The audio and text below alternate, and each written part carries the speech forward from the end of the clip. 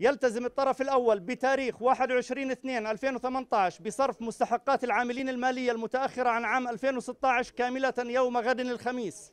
الموافق 22/2/2018 مباشرة.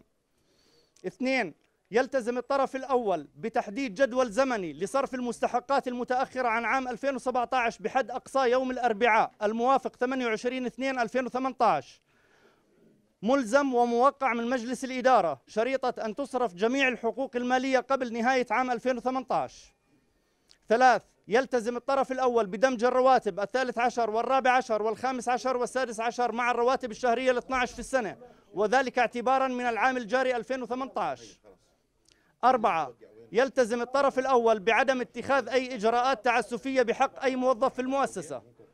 خمسة يلتزم الطرف الأول بإنهاء خدمات عضو المجلس خالد زاهر الفناطسي خلال ثلاثة أيام من تاريخه.